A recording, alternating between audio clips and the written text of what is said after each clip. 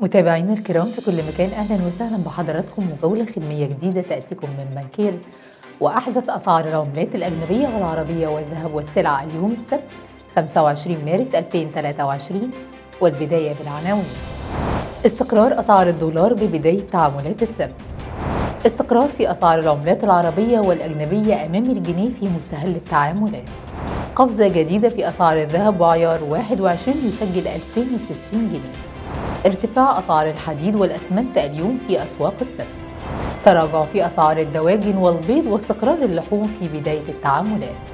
استقرار أسعار الخضروات والفاكهة في سوق العبور. كانت هذه العناوين وإليكم التفاصيل. بانكير نبض البنوك.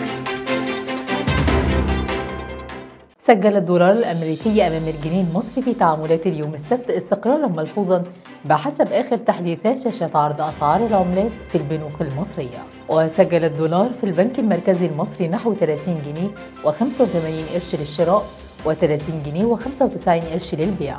واستقر سعر الدولار في البنك الأهلي المصري عند 30 جنيه و75 قرش للشراء و30 جنيه و85 قرش للبيع ومسجلا نفس الأسعار في بنك مصر. وبلغ سعر الدولار في البنك التجاري الدولي 30 جنيه و85 قرش للشراء و30 جنيه و95 قرش للبيع.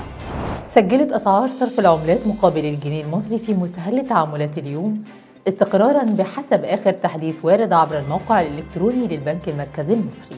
وسجل اليورو في البنك المركزي المصري 33 جنيه و52 قرش للشراء و33 جنيه و65 قرش للبيع.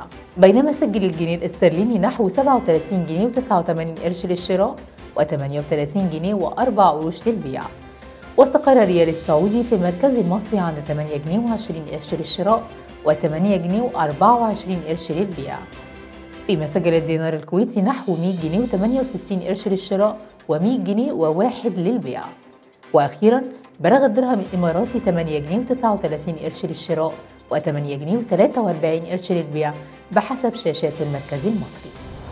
سجلت أسعار الذهب في تعاملات اليوم ارتفاعا كبيرا بحسب آخر تحديث وارد عبر شاشات عرض أسعار الذهب في مصر.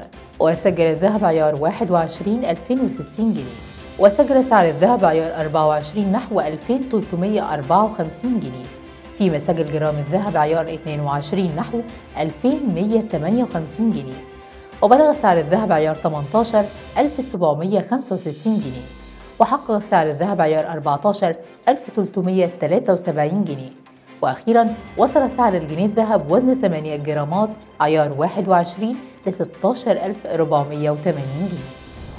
استقرت أسعار الحديد والأسمنت اليوم عند معدلاتها المرتفعة وسط حالة من الارتباك الأسواق نتيجة الزيادات الأخيرة لتتراوح الأسعار بين 37 إلى 38 ألف جنيه للطن تسليم مصنع يصل للمستهلك بحوالي 40 ألف جنيه. وسجل سعر حديد عز اليوم 38 ألف جنيه تسليم مصنع وبلغ سعر حديد المصريين 37500 جنيه.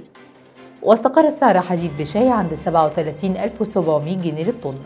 فيما سجل سعر حديد العتال 37 ألف جنيه وبلغ سعر حديد عطية 37 ألف جنيه وسجل حديد سرحان 36 ألف جنيه وبلغ حديد المراكبي 36 ألف جنيه للطن. وفي سوق الأسمنت سجل أسمنت المسلح 1950 جنيه للطن. فيما بلغ أسمنت النصر 1920 جنيه. ووصل أسمنت الممتاز ل 1960 جنيه للطن. واستقر سعر أسمنت التعمير عند 1900 جنيه للطن.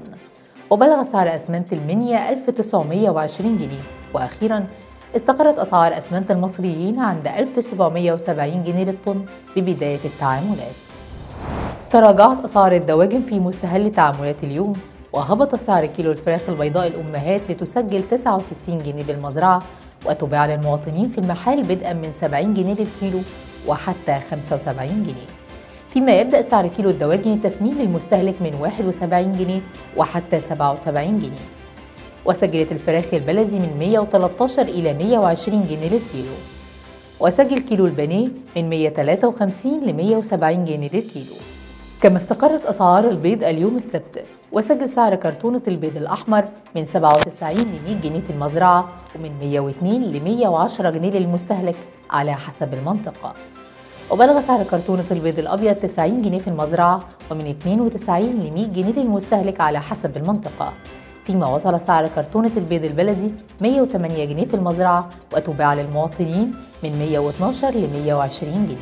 شهدت أسعار اللحوم اليوم السبت استقرارا كبيرا في الأسواق المحلية وتراوح سعر كيلو اللحوم المجمدة البرازيلي من 130 إلى 140 جنيه.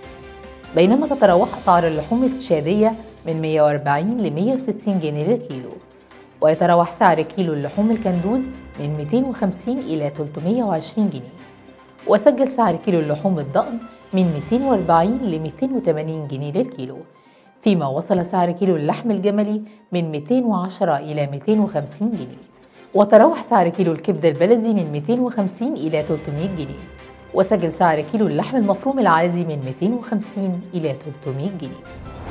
تباينت أسعار الخضروات والفاكهة اليوم في أسواق الجملة بالعبور وتراوحت أسعار الطماطم من 5 إلى 6 جنيه والبطاطس من 4 إلى 5 جنيه ونص وسجل البصل بين 9 إلى 15 جنيه وبلغ سعر كيلو الكوسة من 4 إلى 5 جنيه ونص. فيما تراوحت أسعار الفاصوليا من 18 إلى 22 جنيه وسجل الباذنجان البلدي من 5 إلى 7 جنيه. واستقر الفلفل الرومي بين 6 إلى 9 جنيه وسجلت أسعار الملوخية من 7 إلى 10 جنيه. وفي سوق الفاكهة استقرت أسعار الليمون البلدي من 6 ل 12 جنيه وتراوحت الفراولة بين 7 إلى 10 جنيه وسجلت الجوافة من 6 إلى 12 جنيه واستقرت أسعار الرمان من 8 إلى 18 جنيه وتراوح سعر البرتقال البلدي من 3 جنيه ونص إلى 5 جنيه ونص فيما بلغت أسعار اليوسفي من 5 إلى 11 جنيه. نهاية النشرة. تحياتي دعاء أبو القاسم. إلى اللقاء.